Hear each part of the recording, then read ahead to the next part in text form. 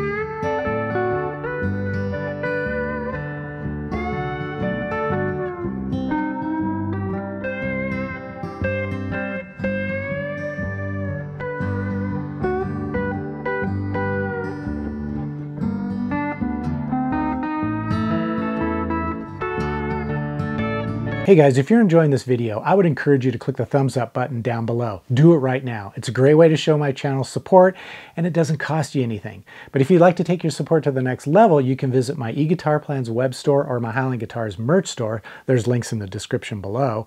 And any purchase you make there is going to help support this channel so that I can keep making guitar building videos and sharing my knowledge and experience with you. You can also click the thanks button down below and leave a tip in the amount that you think is fair. But if you want to get the most out of my channel, I would encourage you to click the join button down below and consider becoming a member. As a member, you're going to have access to videos just like the one you're watching, but with a lot more information and detail, and best of all, no ads. Now let's get back to the video.